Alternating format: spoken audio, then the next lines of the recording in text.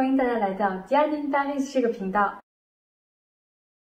法语里的 sœur 它只会用来一种情况，就是你的亲姐妹。那你的堂姐、表姐这些都不叫姐，叫 cousine。然后有 belle sœur、demi sœur 这种叫法，就是唯一用到 sœur 的时候。中文里经常大家会说的什么什么姐，在法语里也不会出现。不管我们的年龄差距有多大，我跟你的对话都是平等的，所以我会直接叫你的名字，你也会直接叫我的名字。那就算在法国家庭里面，其实除了爸爸妈妈、爷爷奶奶、姥姥姥爷、爸爸妈妈、爸比妈咪。